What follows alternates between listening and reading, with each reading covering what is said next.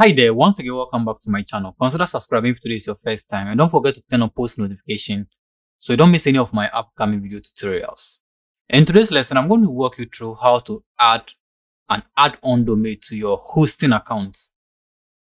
I mostly buy my hosting and domain names from Namecheap and it's one of the re reliable platforms that you can buy and host your website.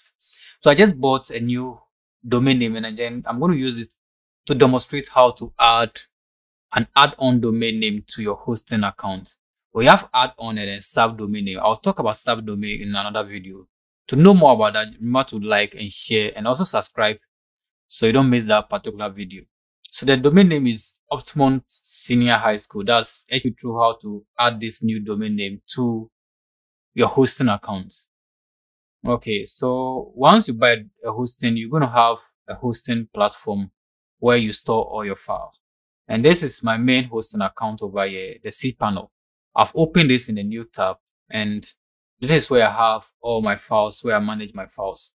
So I'm going to walk you through how to add additional domain name to this hosting account. So what you need to do is to move all the way down to domain domains. So we have domains, move all the way down to domain. We have domains, add on domains, subdomains, so we want to add additional domain. In this case, it's going to be the domain name I bought. Okay. There's the Optimus hhs.com. So we will add it as an add-on domain name. So click on that.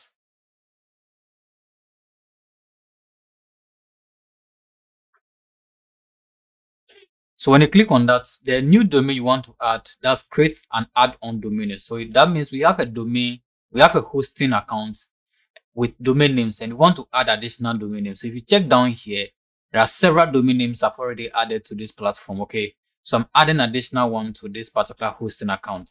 So I just need to go ahead and type the name of the, this new domain name. So just go ahead and then type that domain name or you can just go ahead and then copy that name from here. Okay. So in this case, let me just copy this. And then once we go back to accounts, we can just paste it here. So I've pasted it here, but make sure you start this with www. So it's supposed to be like this. And the sub domain name can just be just anything. I'm just going to use the same. So that one is not going to be anything like .com. Just go ahead and then paste. It's going to be just like a file that will hold everything that you host on your website.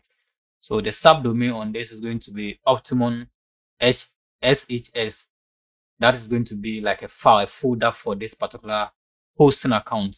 So I've done that and you can see the domain root is going to be optimumseniorhighschool.com. So I'll just click on add domain and that's all, that's all you need to do. Once you click on add domain, you can see it will give you this alert. Add on domain name, that's the name of your new domain has been created. So if added this to your domain name, your hosting accounts.